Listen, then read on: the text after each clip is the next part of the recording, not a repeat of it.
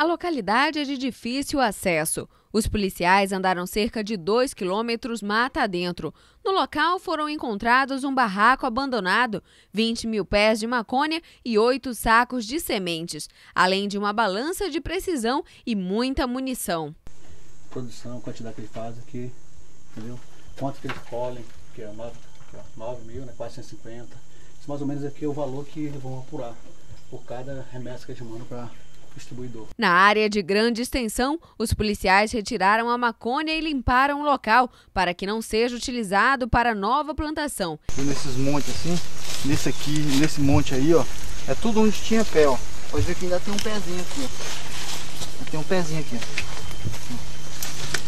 Aí foi aquela última colheita, né, É.